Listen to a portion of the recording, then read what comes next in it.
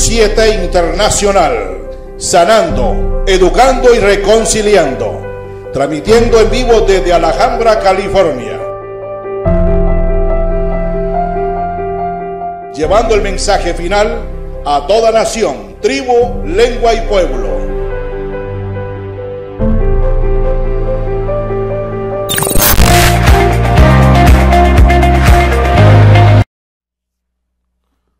Buenas tardes, buenas tardes o dependiendo de dónde estén, buenas noches también. Saludos a todos que nos están sintonizando y nos están acompañando en las redes sociales en este momento. Um, saludos aquí desde California. Aquí vamos a entrar a un estudio sobre la salud una vez más. Entonces eh, queremos pedir la unción de nuestro Señor para abrir su palabra y estudiar un tema importante sobre la salud. Oremos. Padre Celestial, Señor, te damos las gracias que tenemos el privilegio, la oportunidad, Señor, de glorificarte en nuestros cuerpos. Pedimos, Señor, que podemos meditar estos consejos que están en la Escritura encontramos los principios de salud en la palabra de Dios también. Muchas gracias Señor y pedimos Señor que podemos agradarte a ti en nuestras vidas. En el nombre de Jesús. Amén. Pues en esta tarde vamos a tocar la salud mental en el plan de Dios. Y vamos a hablar un poquito sobre lo, es, lo que es el estrés, la depresión, la ansiedad, y pues lleva relación con eh, un tema anterior que presentamos que se, eh, tenía que ver mucho con el descanso. Pero vamos mirando unos textos bíblicos en Génesis capítulo 3, versículo 6, texto muy conocido por nosotros. Dice, vio la mujer que el árbol era buena, era bueno para comer y que era agradable a los ojos y el árbol codiciable para alcanzar la sabiduría. Y tomó de su fruto y comió. Ahora, sabemos la historia, ¿verdad? ¿Qué es lo que sucede? La mujer, ¿verdad? Escucha la voz del enemigo. El enemigo viene a tentar a la mujer. Ella se, ella a esa tentación. Luego la mujer va donde su esposo y le cuenta lo que había sucedido. Y aquí dice Patriarcas y Profetas, la página 54, o perdón, 39, dice, una expresión de tristeza cubrió el rostro de Adán. O sea, Adán se, se había dado cuenta de lo que había sucedido y se dio cuenta lo que Eva, las decisiones que ella había tomado, no eran los consejos de Dios. Era en contra de los consejos, ¿verdad? Y había quebrantado las instrucciones, la educación que Dios había dado. Y por, eso, por esa misma razón dice aquí que una expresión de tristeza. Adán estuvo triste. Y esta es la primera condición física, realmente lo que vemos en, el vuelto de Adén, en, el Edén, es la tristeza. Podemos comparar la tristeza con la depresión. Pues sigue diciendo así, dice Patriarca y Profeta, página 39, se desató una terrible lucha en su mente esto es lo que se llama tristeza, primeramente, ahora angustia. Primero es estrés, luego, es tristeza, depresión, luego viene ansiedad.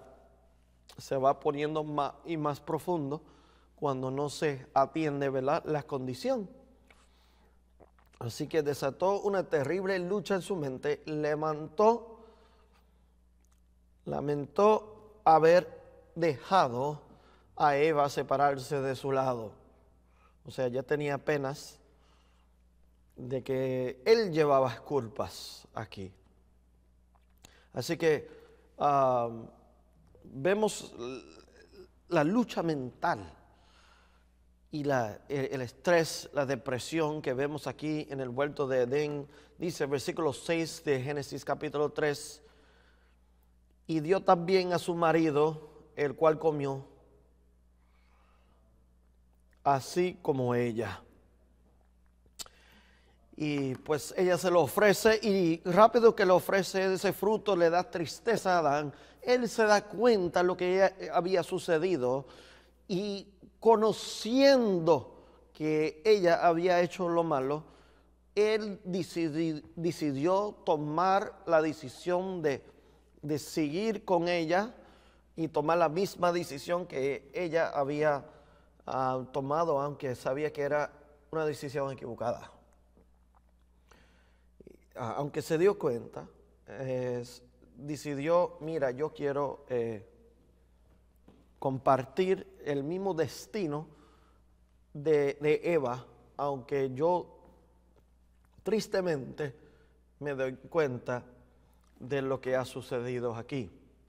Pues ahora viene el Señor, dice versículo 8, dice, oyendo la voz de Jehová Dios, que se paseaba en el huerto al aire del día, el hombre y su mujer se escondieron de la presencia de Jehová Dios entre los árboles y del huerto.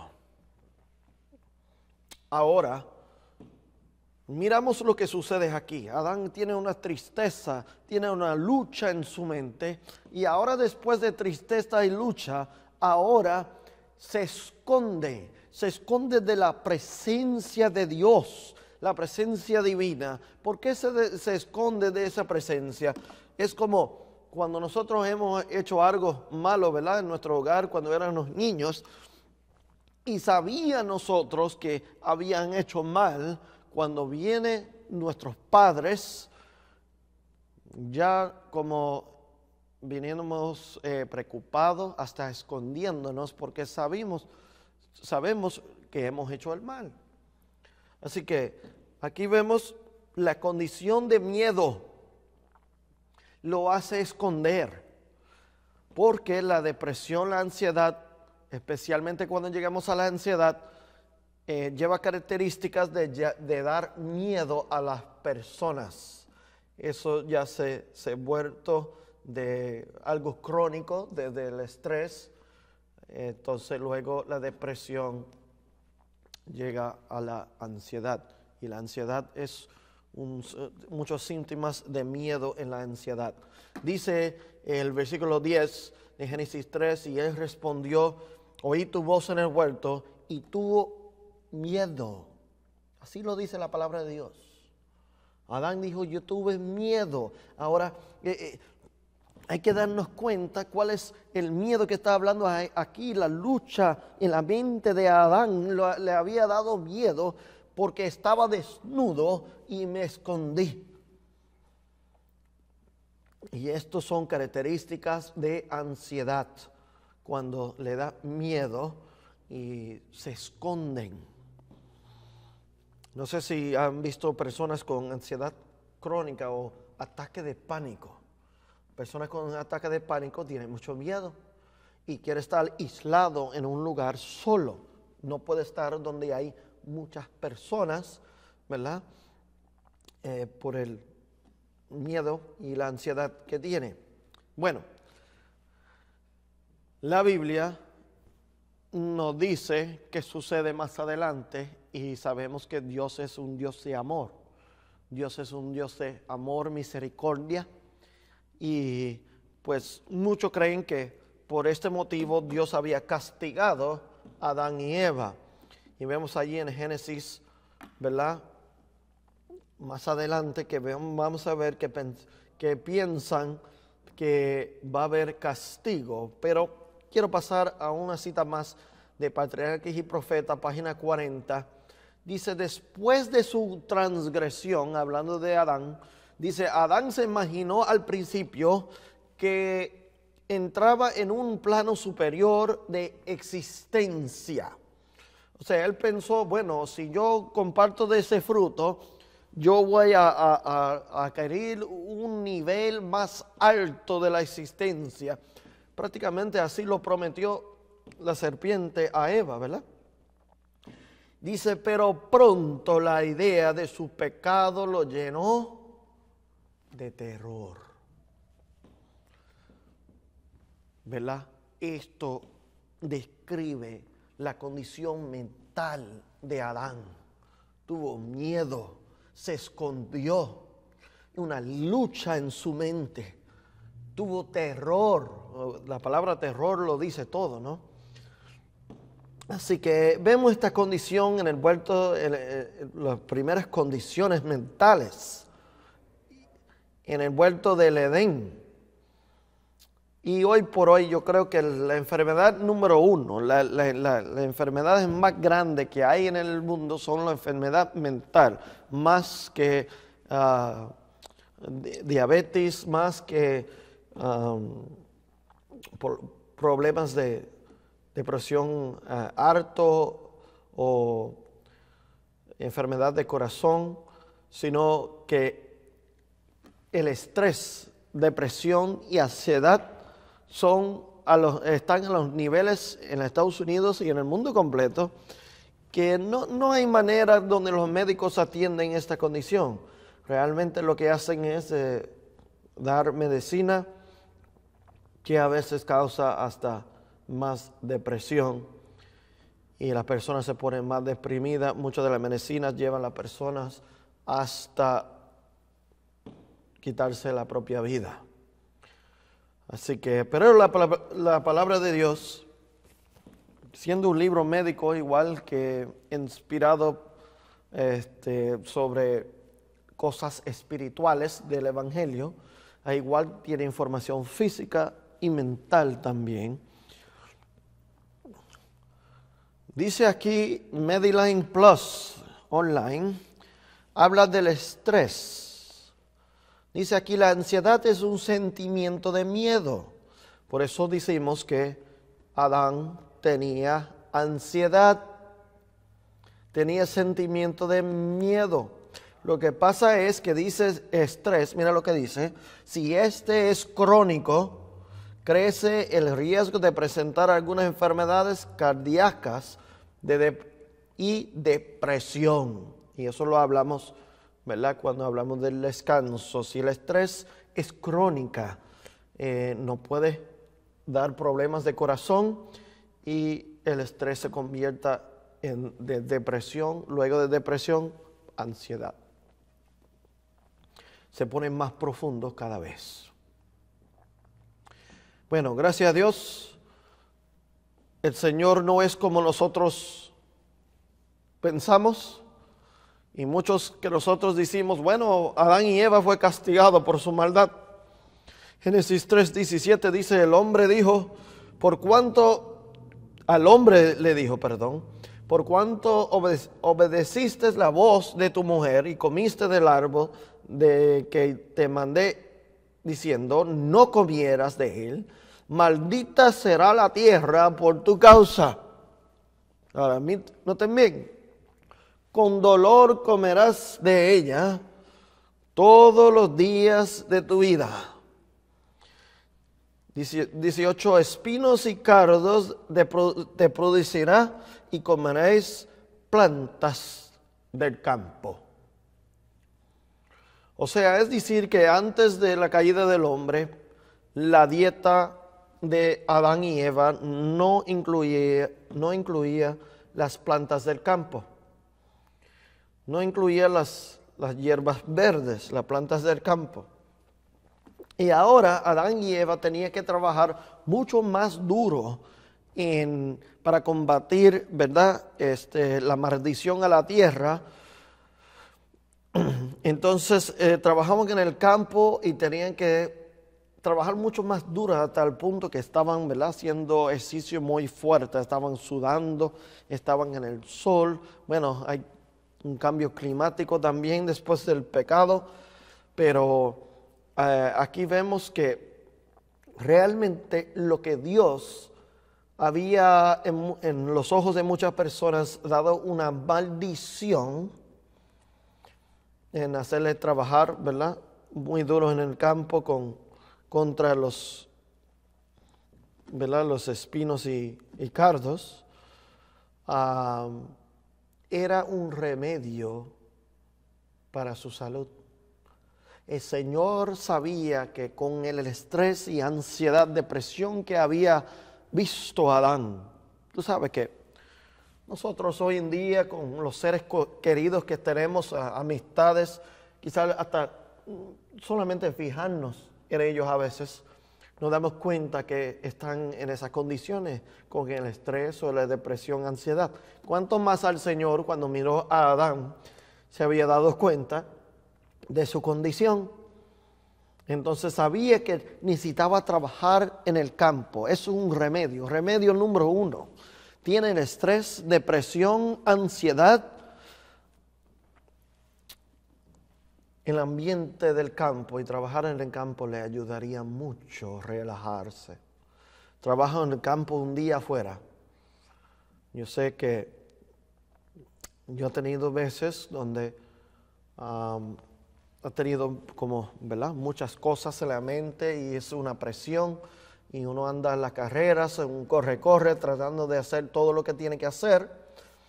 Y cuando uno llega al campo y comienza a trabajar eh, allí en ese lugar, ya cuando uno sale afuera, ya cogiste mucho sol, luz solar, respiraste aire puro, sudaste y esto como cambia el ambiente, ahí encontramos con los animales, las aves que testifican de Dios. Y en ese ambiente nos trae un gran cambio mental de lo que sucede, pero no solamente menciona eso, sino las plantas del campo, especialmente lo que son las hierbas verdes. el Señor sabía que tenía que cambiar la alimentación de, de Adán y Eva después de la caída del hombre. Y es interesante que notamos que después del pecado, después que entró el pecado, el Señor añade lo que son las plantas del campo. ¿Por qué eso? Bueno, mira lo que dice aquí. Dice, ponga las verduras de hoja verde en su menú para ayudar a reducir el estrés, la ansiedad y la depresión. Entonces, claramente Dios sabe todas las cosas, ¿verdad? Aquí los médicos no está anunciando, pero el Señor sabe mucho más y lo sabía mucho antes, ¿no? Entonces, necesitamos verduras de hoja verde para ayudar a combatir el estrés, ansiedad, depresión, muy importante en nuestras dietas. No estés comiendo, ¿verdad? Ah, cuando tenemos estas condiciones, especialmente lo que es el trigo o ¿verdad? Este, trigo blanco y pan blanco y pues arroz blanco y tortilla blanca o todas estas cosas, ¿verdad?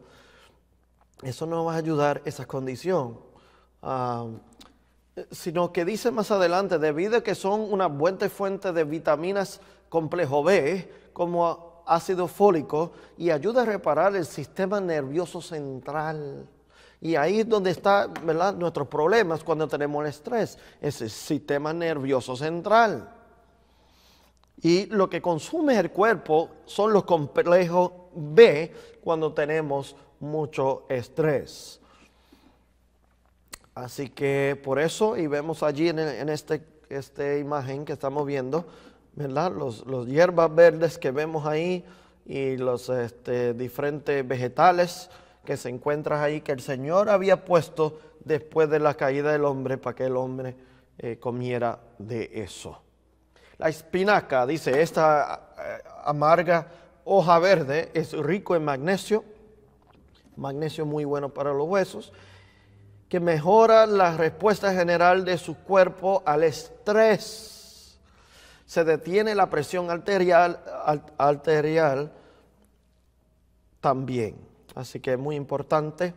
Algunas de las vitaminas más importantes para el trastorno o el tratamiento del estrés, eh, los cambios de humor y fatiga son las del grupo B. Estamos hablando aquí de los complejos B. Así que mis hermanos, Ya hemos visto varias cosas que podemos hacer en el caso de estrés, ansiedad, depresión. Eh, necesitamos estar en un ambiente donde encontramos eh, las obras de Dios. Eh, el mismo medio de la ciudad no le va a ayudar en esta condición. yo he tenido, y digo, no digo desafortunadamente, sino gloria a Dios, esta condición, es más, por eso interés en este tema donde el Señor, ¿verdad? Me trajo una, a una experiencia donde pude experimentar el poder de Dios en sus principios y en su obra en mi vida con este asunto, ¿verdad? El cambio de ambiente es clave a esto.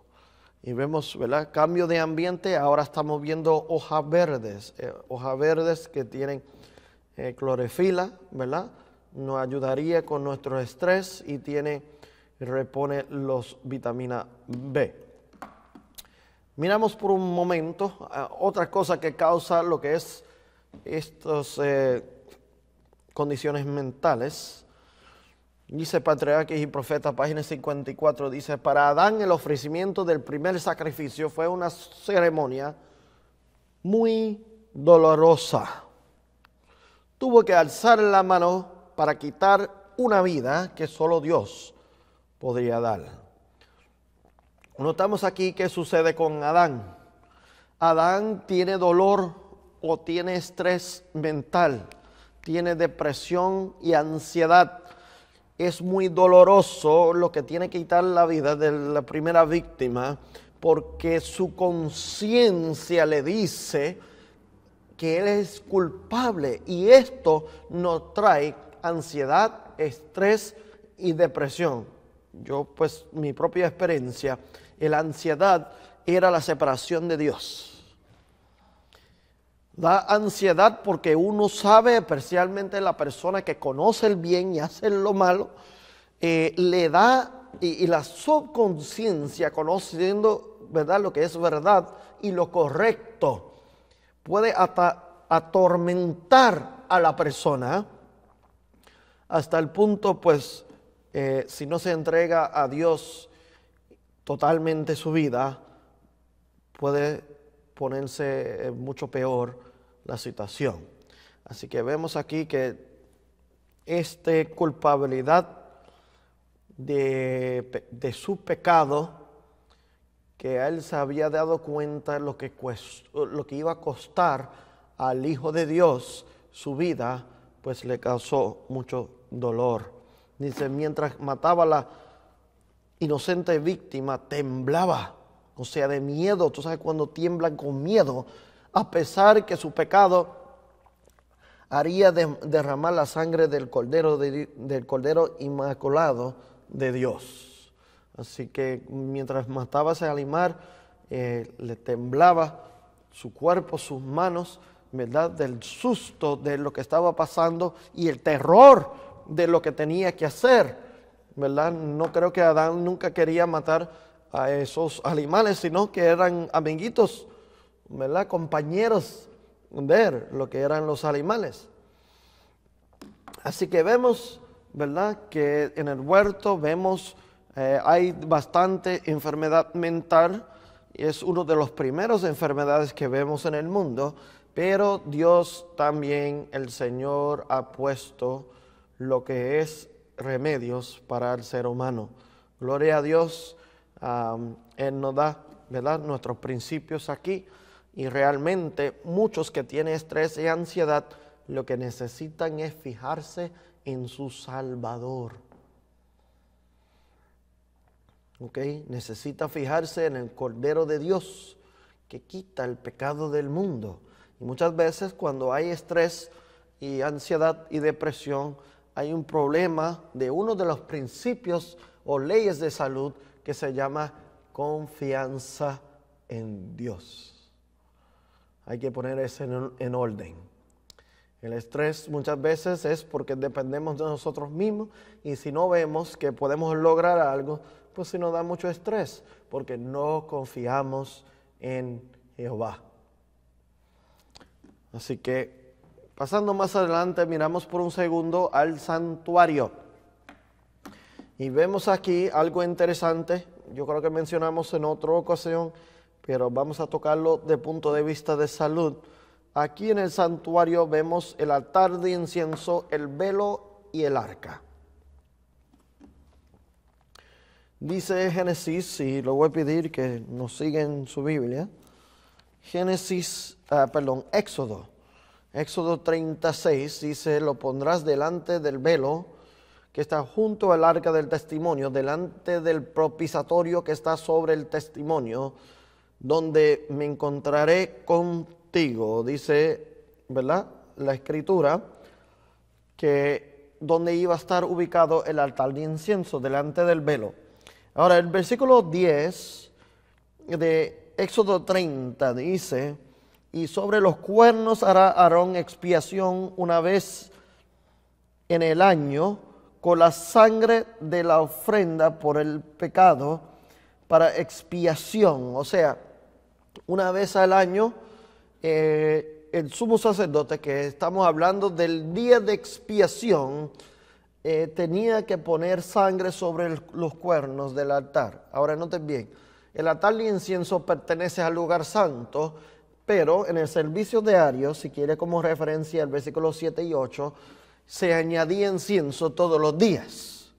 Y es el servicio diario. Pero en el día de expiación, versículo 10, nos dice que se tomaba, ¿verdad?, sangre de, de, de la ofrenda de expiación y se juntaba en los cuatro cuernos de ese altar de incienso. Así que en el día de expiación, se hacía algo especial.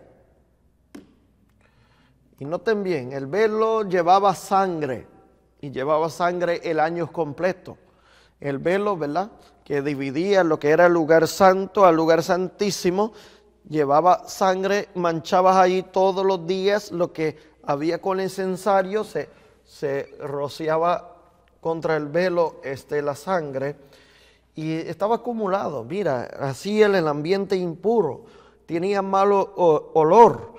Y el Señor en su sabiduría se había dicho que tenían que poner el altar de incienso, lo que era delante del velo. Y esa mezcla de lo que era incienso y mira, vamos a ver las propiedades un poquito adelante de aquí. ¿Ok? Pero vemos el altar, ¿verdad? Delante del velo realmente vamos a ver qué hace el incienso y la mirra, por qué delante del velo, porque Dios le, había dicho, y créame que no hay casualidad, que el Señor le dijo que tenía que ponerse específicamente delante del velo. Y en el día de expiación vemos que Apocalipsis 8.5 dice que tenía, o Apocalipsis 16 tenía que tomar brasas del fuego del altar y el incienso, ponerlo en el incensario y ahora ponerlo sobre el propiciatorio y ese, ese incensario llenaba el cuarto de humo y también tenía, tenía incienso de mirra y llenaba el cuarto con ese humo, incienso y mirra. ¿Por qué se hacía esto? Miramos aquí las propiedades de la, mirra. Dice, mira, es un, estimulante por naturaleza, uno de los mejores aceites para, para eh, encontrar la relajación o para relajarse. Noten bien, quiere un, ¿cómo te digo? un remedio bíblico un remedio bíblico que se usa, ¿verdad? Se usó por miles de años. No es como estas medicinas que salieron hace unos 20, 30 años y dice, bueno, llámanos y si tienen estrés y depresión, queremos hacer un estudio con usted, te vamos a pagar dos o tres tonterías para que nosotros podamos probar esta medicina en tu cuerpo, a ver cómo sucede. Esto Dios lo usó y bajo su dirección, ¿verdad? le había dado a su pueblo y esto funcionó por lo que es miles de años como un remedio para relajar. No sé si se acuerdan, Pero en el día de expiación el sumo sacerdote tenía bastante estrés. Tenía que cargar con las cargas de todos los pecados del campamento y tenía que presentarlo, ¿verdad?, delante de lo que es la presencia de Dios en el lugar santísimo. Eso causaba mucho estrés. Por eso eh, se ponía la mirra y el incienso en el incensario y sobre el propiciatorio y llenaba el cuarto de humo y cuando respiraba el sumo sacerdote estas propiedades le relajaba. Dice, su impacto sobre las emociones resulta asombroso. Dice, induciendo a la calma y sensación de bienestar con solo sentir su aroma durante un buen rato. Por favor, mira esas palabras ahí. Muchos de nosotros estamos en necesidad de dar medicina para, para nuestras vidas, algo, algo que nos puede dar calma, sensación de bienestar, ¿verdad? Que necesitamos en nuestras vidas. El aceite de mira crea un camino directo y conecta la mente y el cuerpo con el alma, eh, perdón, la mente y el cuerpo, o el cuerpo alma. El cuerpo es el alma, ¿no? Dice, contiene un buen porcentaje de, estimulantes eh, que, que son para las emociones, para controlar la parte, una parte del cerebro. ¿Cuál parte del cerebro? Bueno,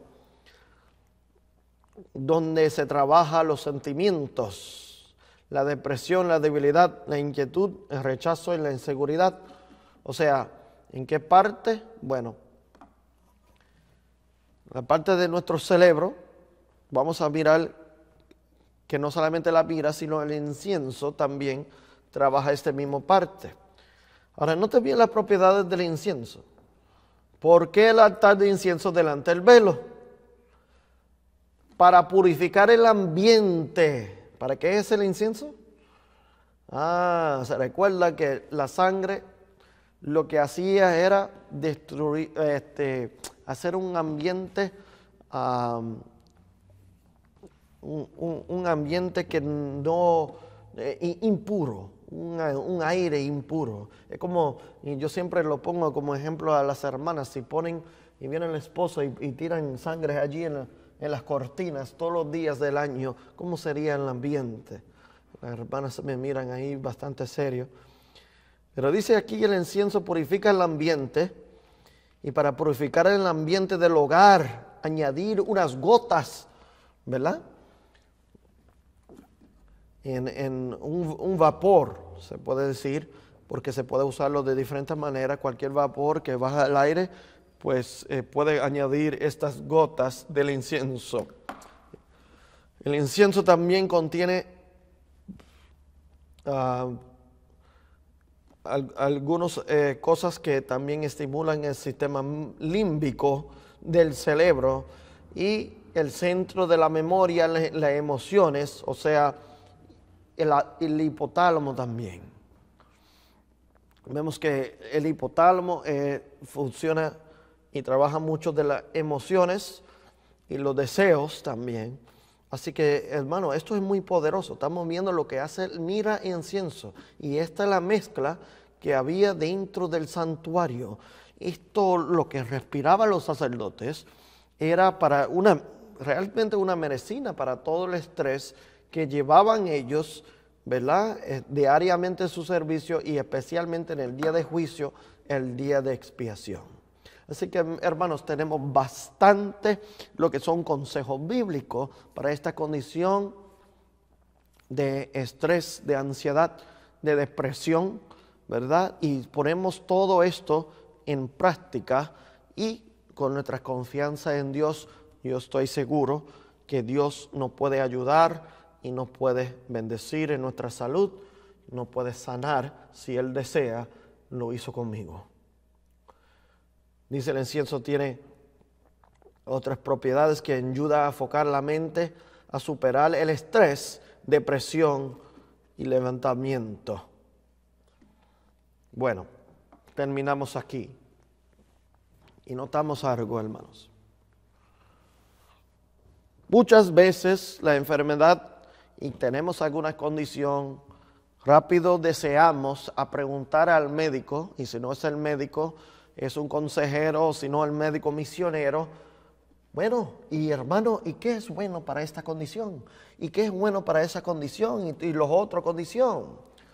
Hermano, les quiero decir, y lo hemos mencionado anteriormente, eh, la palabra de Dios tiene principios de salud y hay que poner esos principios en orden en nuestras vidas. Si tenemos alguna este, condición de salud, lo que necesitamos es mirar esos principios.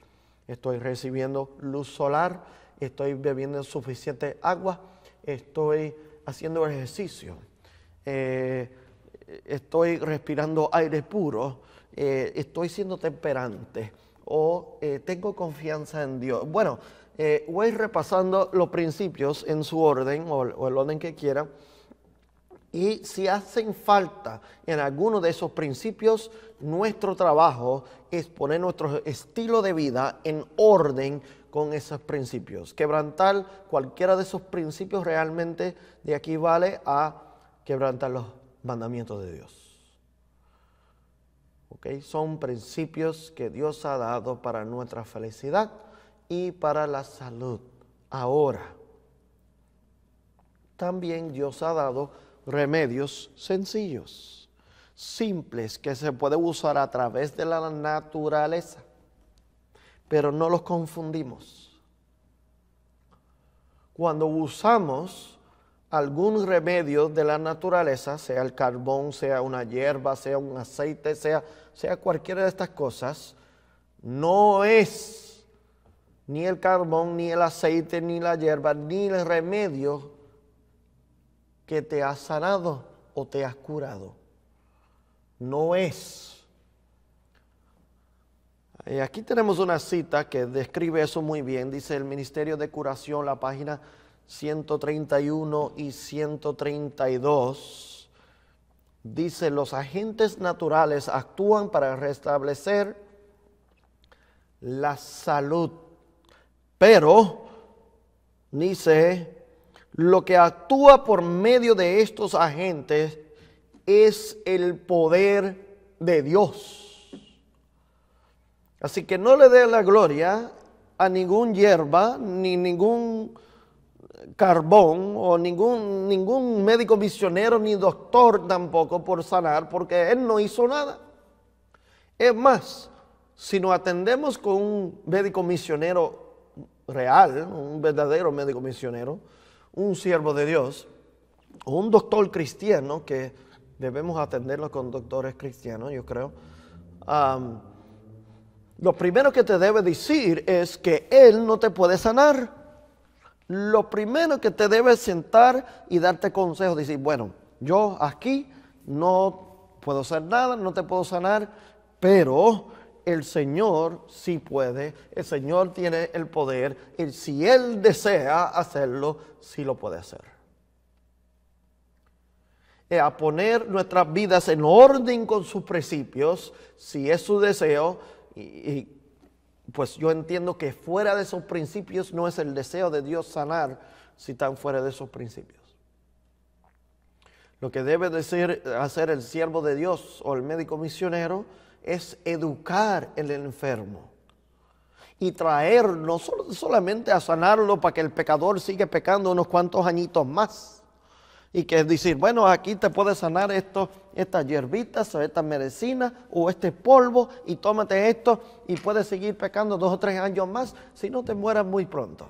Eso no es el punto. El punto de la obra médico misionero es traer almas a Cristo sanar lo físico para llevarlo a sanar a lo espiritual. No queremos sanar dos o tres años más, queremos sanar para la eternidad.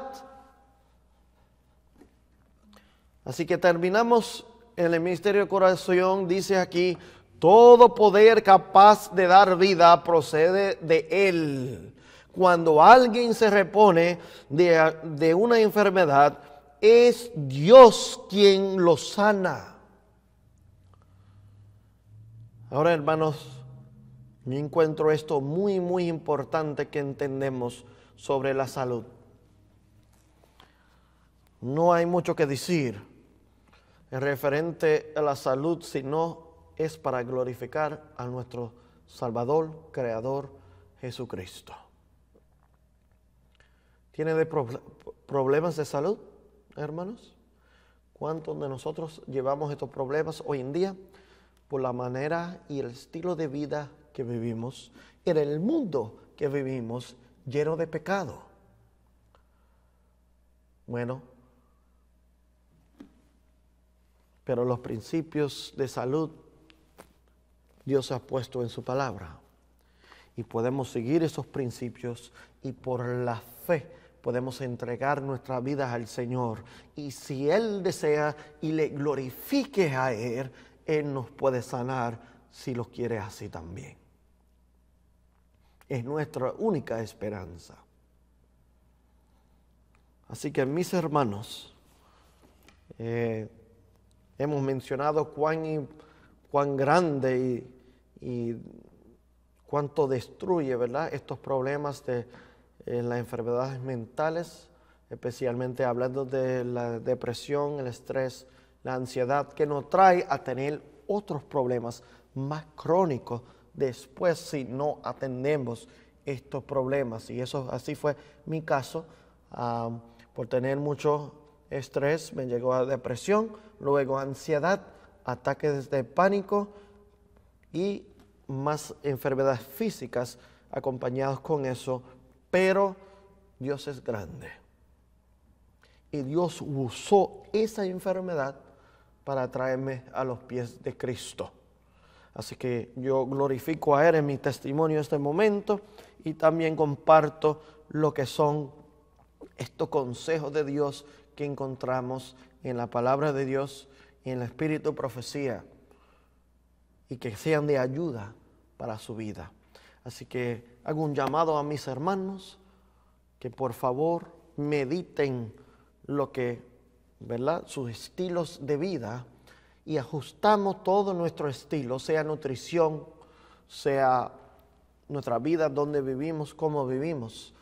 Todos hacemos esto y lo ponemos todo lo posible en orden para glorificar a nuestro Dios. Dios les bendiga, hermanos, y que podemos, ¿verdad?, ser fieles hijos de Dios y que el Señor, ¿verdad?, nos ayude a poder seguir sus consejos. Metro Evangelización 3000. En la Biblia encontramos el gran desafío evangelístico que han representado las ciudades a quienes desean hacer suya la orden de ir y predicar el Evangelio. En la actualidad, la mayoría de personas viven en las grandes metrópolis. Debemos aceptar que hoy podemos predicar a cientos, miles y millones de personas que están a nuestro alrededor. Y esto lo podemos hacer con planes muy abarcantes que nos desafíen a una obra mayor. Ya están listos los peces, ya están listas las redes, solo faltan los pescadores. Presentamos Metro Evangelización 3000. Todos pueden hacer algo en esta obra.